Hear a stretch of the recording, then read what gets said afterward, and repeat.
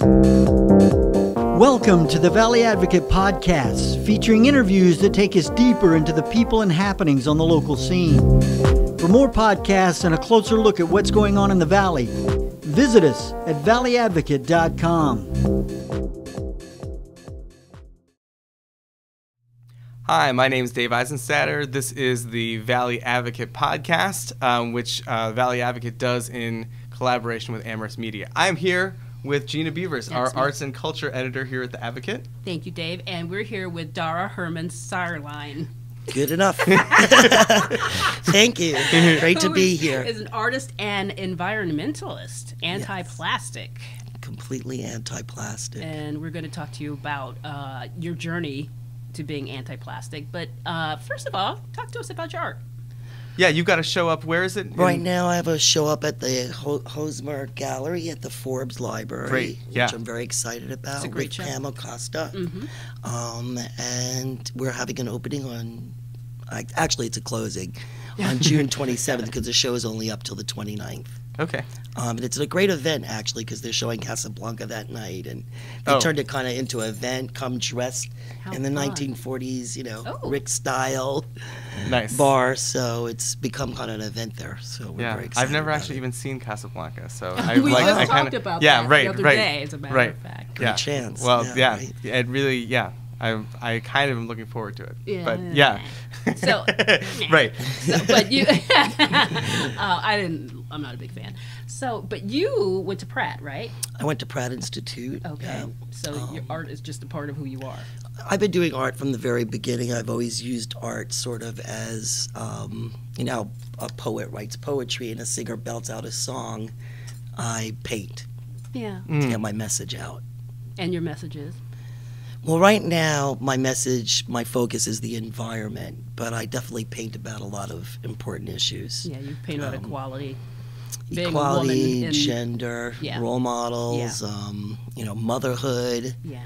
you know, it's really kind of hits me at the time. Right. So, but the environment is right now the biggest. I've been painting about the environment probably for the last 10 years. Yeah. What is it that sparked you about the Um, environment? you know, I used I drink a lot of water, Mhm.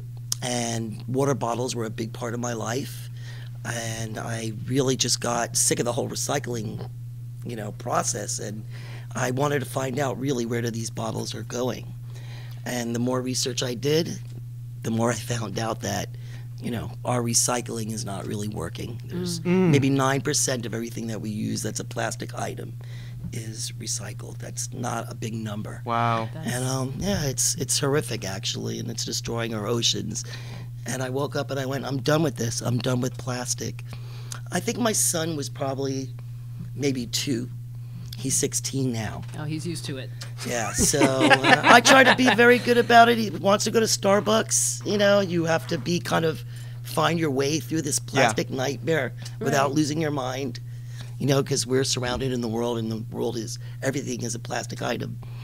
So we have to kind of go through this world trying to make choices. And my choice was to eliminate plastic from my life. Oh man, that's like so inspirational, and also Yeah. and uh, and also you're bringing up this, I guess, fear that I always just tuck back into the back of my mind whenever I'm recycling something that like, are they actually recycling this? I, like, and and you're saying that it's you like nine nine percent Yeah. is a That- horrifically Or low less. number, or Or or less. less. Okay, so You know, so the reality is is that the recycling is really not working, which means that we have to be more aggressive with uh, the planet by eliminating plastic from our lives on a daily basis. Right. you brought a an amazing visual Yes. visual I aid. did. I can you can Sure. you show it to us? Yes, absolutely. Crinkle, crinkle. Crinkle, crinkle, Crinkle, crinkle. Here is, um, and I put it in a clear plastic bag so you can get an idea of what these items are. Oh wow. Excuse me. Um, it's everything that you can imagine. Takeout items is a huge problem. Right. When you go into a restaurant, you know, before you even get your glass of water, this, the plastic straw is in your glass Right. if you want it there or not.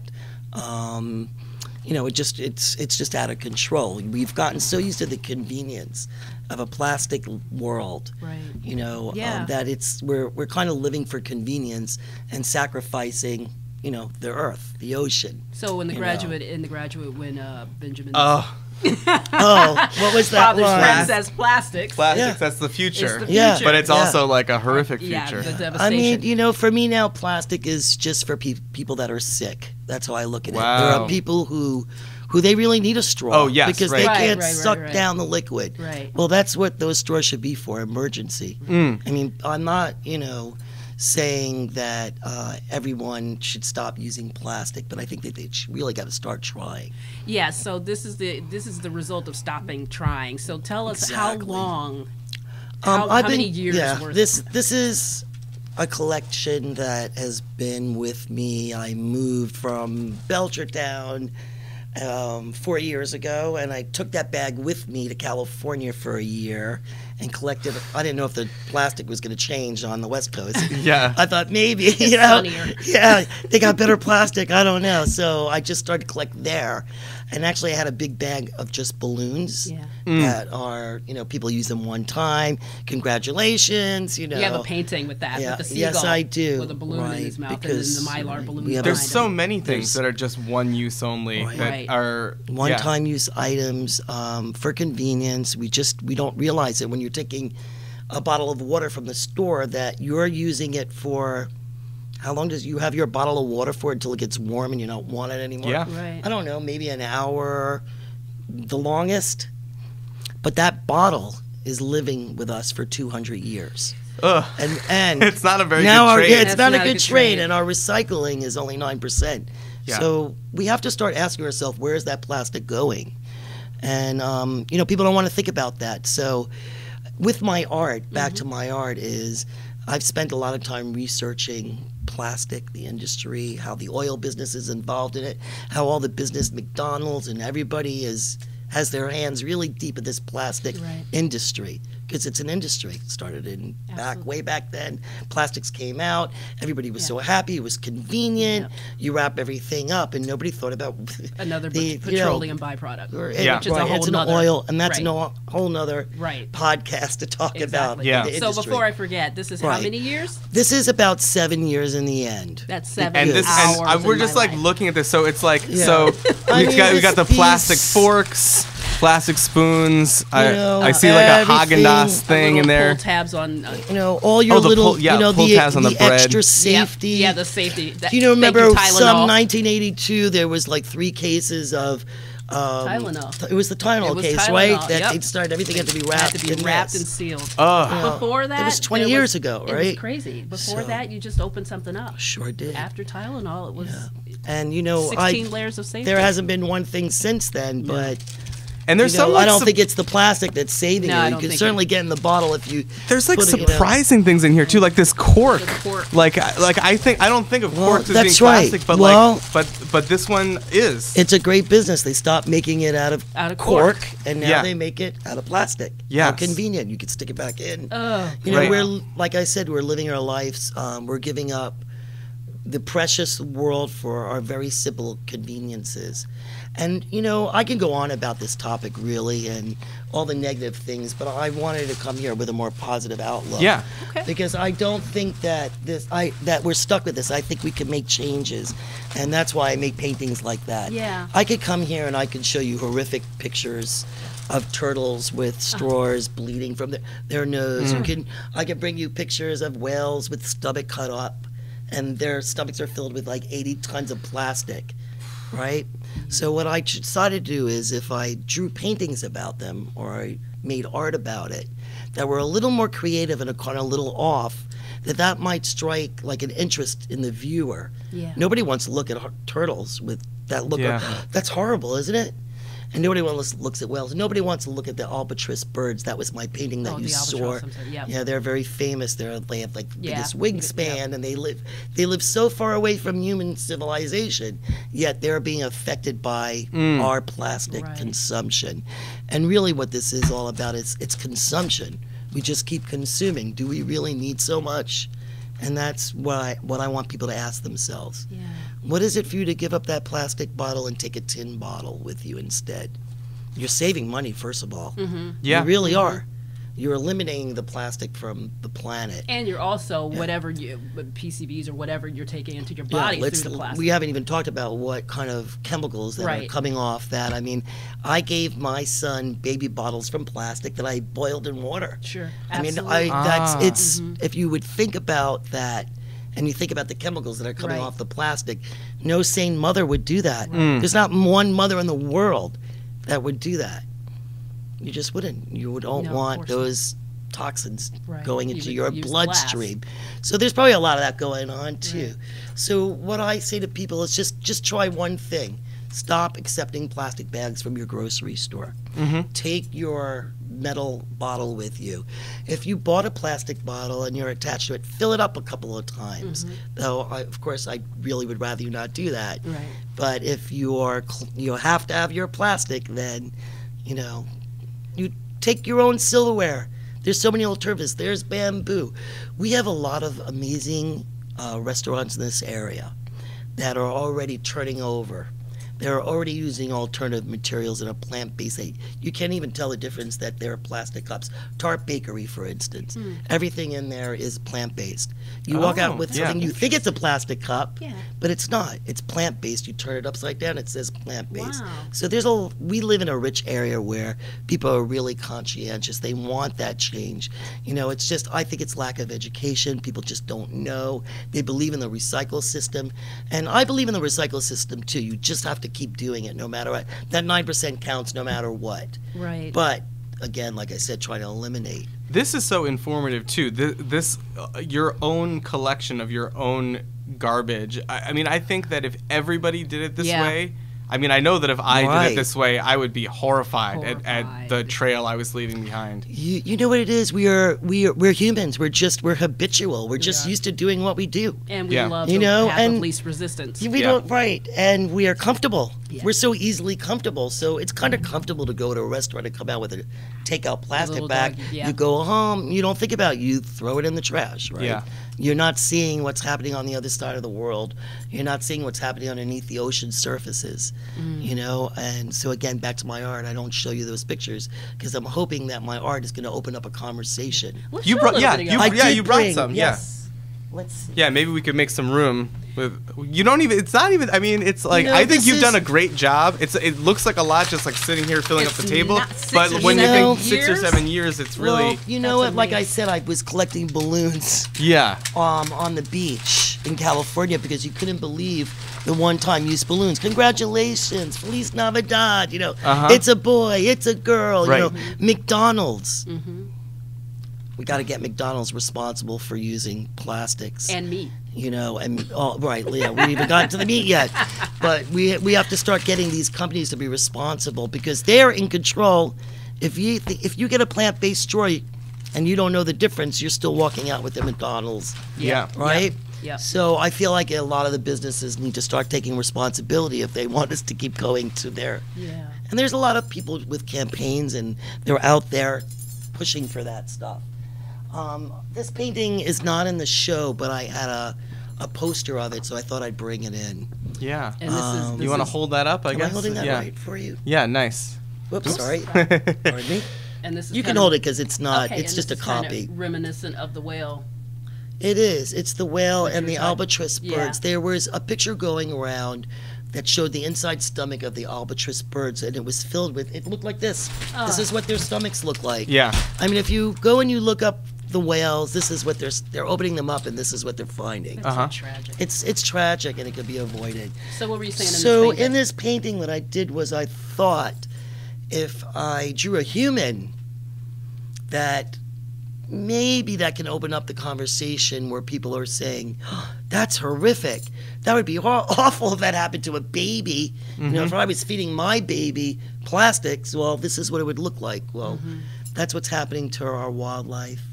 And that's what's happening to our rivers and our waterways. And the plastic is- is entering in every way it can. Right. It's entering when we wash our clothes, you know, because we have microbeads and Right. Yes. and our Yeah. shampoos, Yeah. and we have plastic in which our are materials. which are those, those little tiny tiny um, balls that Mm-hmm. supposedly make your hair somewhat cleaner or something, they break but then they go yeah, right down they go the right down the down the drain. right, and then they go right into your ocean. Yeah. And let's not forget that you're also eating it. Right. Mm, So you you know it's like a ch- terrible chain reaction. yeah. Yeah. So the simple changes are, is, you know, don't accept the plastic bags. You know, grab a cloth bag. I brought you guys a present. Yay. Okay. I I'd love, to presents. show you. Yeah. So um, we brought Oh, I read about these. Oh, goody. Okay. So What do we got? we got the because I'm very proud to be a Northampton person now. I've Yes. been living here for three or four years. All right. And because it's such a progressive place, our mayor, our, our mayor, passed the plastic bag ban, Mm-hmm. And we are officially a New England plastic bag town. All Mm. right. And um, this is for you. Thank one for Okay. you, and I one love for swag. you. I love swag. And, And that's blue. the that's the Northampton Exactly. City Hall. Exactly. This cool. Make a On great front. T-shirt. It's. I, this blue is Only the t-shirt. psychedelic. Oh, that's really I'm like, fun. it's like yeah, I, popping at, you out can of my choose eye. your. This is great. I love it. it's vibrating, right? Yeah. So how would people get these? Um, these you can contact me Okay. at my website or These are by great. email if you'd like a bag. Um, I wanted to thank. We wanted to thank. It was my husband and I. We wanted to. He made the bags. Actually, he's Mm. also an Nice work. artist.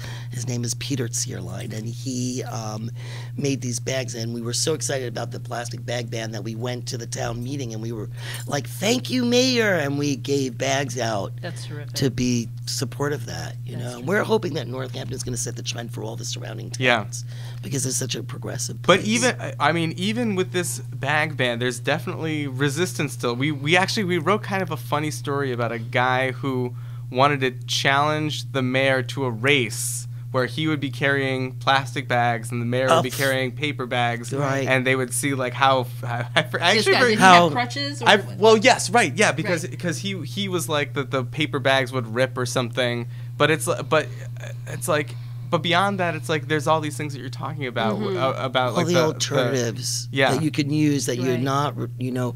But Right. again, we're just creatures of a habit. Right. So if the bags are made available, then the people will take them. Yeah. If the bags are not available, Right. the people will find alternative Yeah. ways. I think whoever has this bag would win the race. I- That's what I think. if you have a For cloth sure. bag, you know, and I roll this I'm up, I excited have about this. You, I'm good. I'm I so am. I'm glad. super Let me see what else about I have in my goodie yeah, bag. what's your goodie Wow, bag filled yeah. with?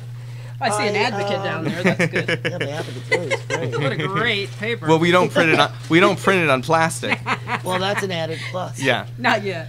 Um, I brought you, and we will make sure that does not happen, Gina. I I brought you. I knew you were gonna. I brought also postcards. It's Oh, the same image. Well, actually, I don't know if you saw Oh, this. I remember this was in the show. That was that is in the show, Oh, um, and on the back of it is an alternatives list to plastic. oh, terrific. Um, and that it's oh, that's really nice. easy. Use Just- glass bottles, not plastic bottles. Use straws made of metal or glass, not plastic. And then there's a whole list of these. That's terrific.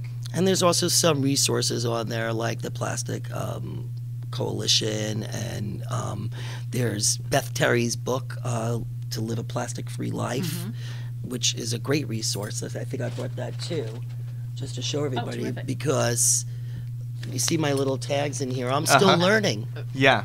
I And can imagine if that you have a, a a- resource- a lifelong endeavor. and this is a great resource for anyone who's just needs to have. What do I do now? I don't have my plastic bags. What do I do? I don't know what the alternatives are. Yeah, right, I'd, right. There- I'd love to know what you what you are. personally have found kind of uh, either difficult or, or maybe easier than you expected going uh, you know low plastic or plastic You free know as what? possible. It was so much easier than I ever thought Hmm. it was going to be. You know, it took the point of frustration for me. I was carrying like jugs and jugs of water bottles. I lived in New York City, and I thought, I'm not drinking the water out of the pipes. You know, they say New York City is the best water, but you know, every time I turn on my pipes, there would be Right. rust York- coming out of the best water. New York, New York City know? thinks they're the best at everything. Well, that's kind of true. got Some some things good are, water, too. yeah, right. We have great water here, so and there's no rust coming out of my pipes. But it forced me to buy water jugs, um, and I didn't realize there was a problem with plastic at the time. I just Sure. did what everybody else did. Yeah. Went to the store, got my six bottles, brought them home, and every day I'd like I'd be finished with my bottles after a week, and then I was like, I had to take these bottles to the, the recycling bin, and I started to get frustrated. I'm like carrying these jugs. I'm trying to put them in plastic bags. I just like where. Wh- this this got to be something better than this. And where is all this stuff going? Again, is like where is this going? So um, that started the investigation, and the minute I started investigating, all you know, what does plastic do to your body? Where does the plastic get recycled? Are there alternatives? You know, it changed my life. It changed my life That's instantly. amazing. So how many years? Um, so the my son's baby bottle, and I want to say um, 13 years, solid 13 to 14 That's years. so now. awesome. That's impressive. Yeah. And I love how this book, the look of it is I like, know, I know. Yeah, It's well, like- of course, it's done uh, all echo. yes, you right. know. And actually, my husband and I, we we're coming out with a book too. Oh, great. Um, it's a children's book. It's called "Don't Eat the Plastic." Oh, Um, I love. All right. Well, I like it. I got a kid. and I need to another get that time, book. well, you're gonna. It's great actually, and my Yeah. husband's an illustrator, so he illustrated it, and I wrote it. Terrific. And we're hoping it's going to come out in 2019. We have some people interested in it. Oh, so and if cool. that's the case, I'd love to. Ju- I want to get out there to the schools yeah. because you know we have the schools. They put the little plastic. I was an art teacher for 20 years, so Mm-hmm. Where did you teach? I taught all over the valley Okay. there- through an outreach out pro, Oh, okay. outreach art program. I was one year at Whately Elementary Yep. School as a full time art teacher, and then otherwise they're what they called outreach art program, and I traveled Whately, Conway, Sunderland, you name it. I brought Franklin art. County. uh, That's cool. Did you get to indoctrinate your kids at all of, of You with know your? You anti-plastic ways? This is this is a very tricky business. Like Yeah. you can't. I have a Mhm. son at home. yeah. and he wants to go to Starbucks. And so, you know, if you want to kind of raise little advocates and activists, then you can't really. I'm living it. So Yeah. he sees it every day. Um, you don't want to be pushing something on Yes. a young person because you want them to become an advocate Right. on their own. On their choice. So he came home the other day and said, Guess what, mom? And I was like, What? He goes, I bought a recyclable Starbucks cup. So when I go there, I bring my cup and they refill, give me the liquid I want in there. And I thought, Good for you. That's a great beginning because. You know, for the for a while, I was like, I don't really want you to go to Starbucks. But then I thought, this is not going to work. Right. Yeah. This right. is now how it works with teens. Right. And now he's really an advocate. He puts on his Instagram and don't use the plastic, you know, and that was just from being, you know, role models at home. That's All great. right. Such You good know, it was advice. a, it was That a it was a transition. First, all, I started my husband. I was coming in with his club soda bottles, and I was like, "No, you know, you can't come in with bottles. I'm all educated now, Yeah, I know right. what we're doing. We just got to stop." yeah. So it, it's like that, and now it's great because now my friends are influenced, and that's my point. It takes one person to have a message when it comes to the activism, and to get that message out there. And if you make a difference in one person, you you made a difference. Right. I mean, you made a difference. One person doesn't have. I mean, this. Right. I mean, I know some people have this in a week. Yeah. Don't get me wrong. This is a, this is this came in my life, and I didn't want it to. Yeah. This was like, you can't. You have to go out in the world. You can't be crazy. I mean, my my I put straws in my bags, and they end up in my takeout food. I put the It's like a Jacob You know? Marley kind of thing where you're like Scrooge and you have all these like plastic signs. And that's how I'm just mm, like, These are the plastics You I forged in life. Yeah. and I'll come and torch you at Yes. night, right? a plastic carol. I mean, so the the artwork comes really from me wanting to get the ma- message out there without being blunt. Yeah. I mean, I know this is very blunt, but somehow when you're looking at art and you see color Yep. And you're attracted to, you know, rhythms of color or uh, the way someone draws a style, Mm-hmm. and you know, people don't even notice sometimes. Like in this image, like this underneath here, it's it's all garbage You're right. bags and you know, and this big in the Tasumi, too. and you don't really notice the bags. So I'm hoping that that doesn't really come through at first. First, I want them to be, oh, that looks Color, attractive, the colors, yep. and then you're drawn in, and then you go, uh oh, you know, and that opens a conversation, and that's what I'm hoping my art's Yep. gonna do, and that's pretty much in everything I draw. I was trying to see if I brought you anything else. Um, what's interesting now with what I've been doing this over a period of time is people that are in this kind of thing is they're they're finding me and they're like, "Can you come and talk? Can you come here? I am with you guys." Yeah, right? you've done you went to my show. publishing and stuff like yeah, that. in London. Yeah. I've been published in Australia. I've been, you know, because these communities are very strong about they're anti-plastic. Mm-hmm. You know, they're doing books and they're they want to do interviews with artists and they want to show the work. Everybody, the the beautiful thing is everybody has a common mission. So you could be a musician, you could be a painter or a writer, and it, it's not even important. Right. Like right now, my artwork is it. It's not. It, I, I'm not. It's not important to me. The artist part.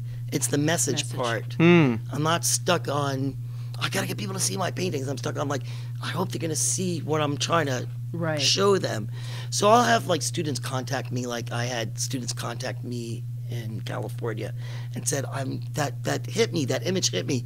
Can I use it? We're doing a green festival. Mm-hmm. I want to be able to show them that." And can I use your work? And I'll do a poster for them, no charge. That's cool. You know, I'll send stacks of my posters with an alternative list. I'll just put it out there as much as I can. So here's what was done with this original image that I showed you for Golden West College in Huntington, California. Oh, that's terrific. Earth So- Week. And yeah, Earth Week. They had an agenda I love for the it. week and they asked for my art. And I said, great. There's nothing better than when you can combine words with your with pictures. That's great when other people can combine the Right, words with for me. pict- I know it's and. I don't. It's you Yeah. know, exciting. that makes yeah. it my job Yeah. easier. Yeah. It, it's funny because I had um, a few people drop through the show and they said, "Oh, there were no titles," and I Well, I wasn't said even. that too. Oh, yeah. So, you know, um, I'm a little shy about showing my artwork. That's the truth. So I just kind of brought You- my. you are? I am. Oh. I'm I'm kind of one of those shy artists, believe it or not. Like the mission has really helped me to to show my artwork Mm. actually because I'm not one to uh, not showy in that way. Right. So I'm not one to I pro, I'm aggressive because I want to get the work out because again the message is so important, and that's what that is about. You Awesome. know. How, how do people find you? What do you have a website or what's your? Uh, I have a blog, Mhm. so you can actually write to me if you want, and you can respond to my paintings, and that's why I always what that's what I really hope for because what I do is it's kind of more like an information.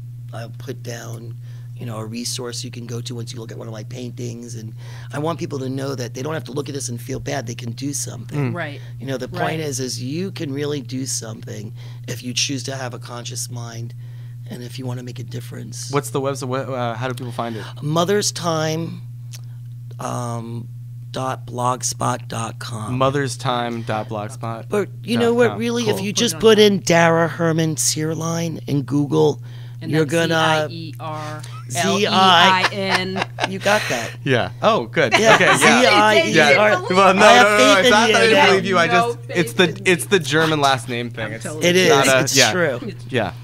Yeah. So just put my name in, and there, all my articles will come up, and all my interviews, you know, across the way, and That's great. It shouldn't be a problem Thank you finding me. so much. Yeah. Thank you. Thank you for having me. I love the show too. Thank and you. with Pam, with uh, Pam Acosta. That Yeah, was really and a I nice really enjoyed the interview Great. too, and um, the article. Pick up the Advocate and check us out in the paper. What she We're said. there. Yeah. Great. Well, thank you so much. Thank you. Thanks for listening, and don't forget to visit us at valleyadvocate.com.